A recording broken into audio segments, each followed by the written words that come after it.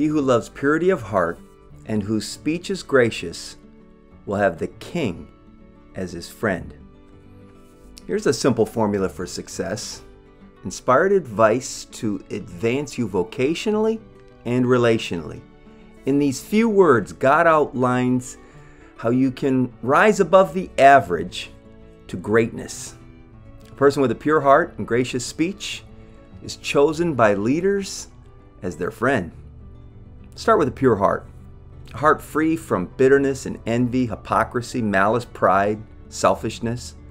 Such hearts use gracious words, acceptable, agreeable, courteous, forgiving, gentle, kind, merciful, pleasing words. The combination of a pure heart and gracious speech is so rare that those in leadership are instantly and deeply drawn to it. Graciousness is a beautifying character trait. A gracious person is often described as a beautiful person or a charming person. Whether man or woman, graciousness makes a person pleasant to be with. It's rare and sweet pleasure to meet a gracious person. People of gracious speech, they're a pleasure to be around, and, and you crave their company. If you want to advance, to grow, to prosper in your profession and in your relationships, spend as much time with people of pure hearts and gracious speech as you can. Spend enough time with those kind of people, and something will happen to you. You will become one of those kind of people.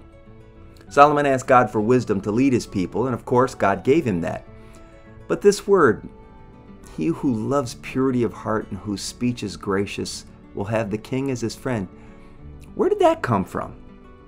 I suspect that had as much to do with what he knew about the relationship of his father to the heir of the throne, Prince Jonathan.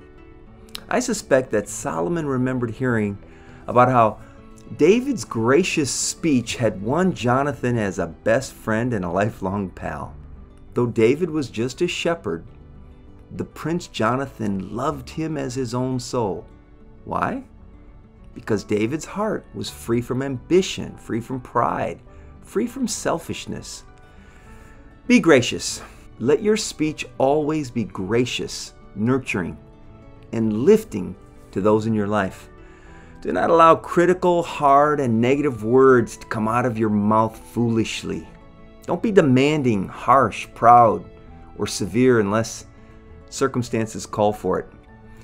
In the book of Ecclesiastes, Solomon said that wise men speak graciously, but fools destroy themselves with their words. Lord knows, I've played the part of the fool more times than I care to admit.